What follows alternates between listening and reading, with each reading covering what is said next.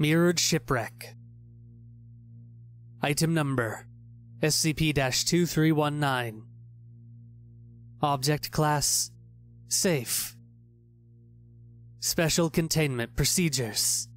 Due to its depth and historical lack of governmental or commercial interest in its location, SCP 2319's containment is considered de facto. In order to maintain this perpetuity, an international cordon has been established around SCP 2319. At this time, the Foundation does not agree on the long term survivability of SCP 2319.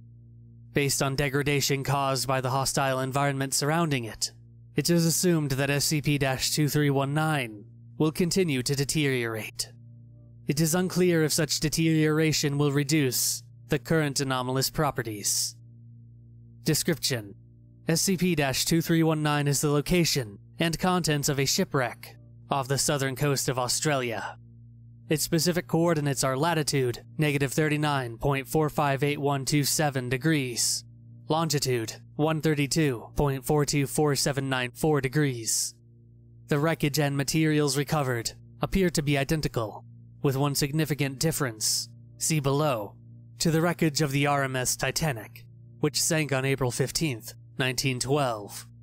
All materials returned from SCP 2319's wreckage have been dated to specifications that would have been in use in 1912, with the exception of one item. See addendum. All damage slash deterioration of SCP 2319 is consistent with 100 blank. SCP 2319 was discovered by outside sources on October 7th blank and contained by the Foundation three weeks later under the guise of a low level ecological disaster. Maps and seabed scans in the historical record show no reported claims of shipwreck and slash or corresponding seabed disruption prior to the discovery of SCP 2319. Compared to the wreckage of the Titanic, SCP 2319 is mirrored along the longitudinal axis. Existing maps of the Titanic, once flipped east slash west, are identical to SCP 2319 in all major landmarks. Footnote For example, the Titanic's bow points broadly northeast, with the aft section south, with a large debris field to the east. In SCP 2319's case, the bow points broadly northwest, with a large debris field west of the aft wreckage. The current surface terrain surrounding SCP 2319 is as identical to the ones found at the current Titanic wreckage location, if also mirrored. All written text in the wreck is also mirrored, e.g., the archboard reads Thanatetesimar.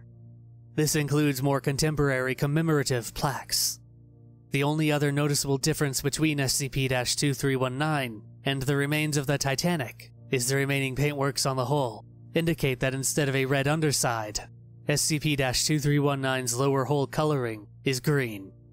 As with the Titanic wreckage, a unique ecosystem of anemones, crabs, shrimp, starfish, and rat tail thrives within the wreckage of SCP 2319.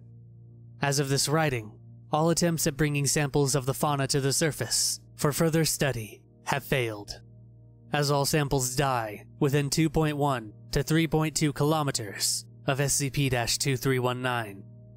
Footnote Initial findings hint that the creatures have died, inexplicably, of asphyxiation despite being stored in waters directly from SCP 2319. Examination of the remains of creatures recovered from SCP 2319 show varying degrees of situs transversus. Polarimetry results of recovered organic materials show similar mirroring of D/L chiralities.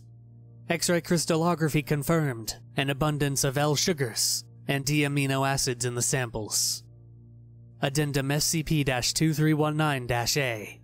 Originally deemed an aberrant system malfunction, reports of submersible navigation issues have become more consistent while exploring SCP 2319. Pilots report random moments where commands to move to port result in starboard motion. Complete repair of MROVs has not and does not solve the issues. Addendum SCP 2319 B. Foundation experts studying artifacts recovered from SCP 2319 have reported increased feelings of nausea and disorientation from midterm exposure to all artifacts. The effect is described as disorienting, but not incapacitating. As of blank, all teams studying artifacts for upwards of 8 hours a day are required to spend 24 hours away from all SCP 2319 borne materials. Addendum SCP 2319 C. A recent exploration of SCP 2319 has revealed a unique artifact, dubbed SCP 2319 2. Buried under a bulkhead with debris and weathering corresponding to 100 years of sediment, was a contemporary airtight safe containing a clear plastic plate with the following phrases etched onto it Retainment, unsuccessful of sekusnu, Elba, plastic untenelba, usot otto oh, those we failed, suevigrof.